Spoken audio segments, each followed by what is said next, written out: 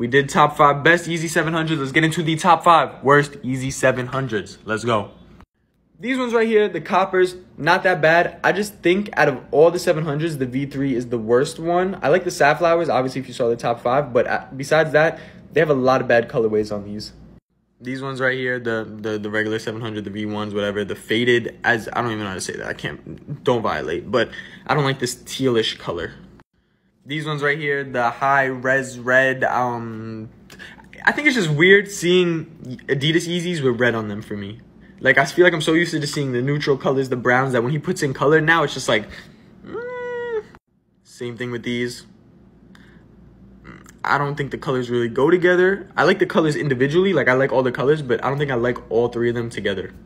And then same thing with this. Once I saw somebody with like a bunch of, actually a bunch of people, not one person, a bunch of people wearing Knicks jerseys with these, I just can't unsee it and I don't like them.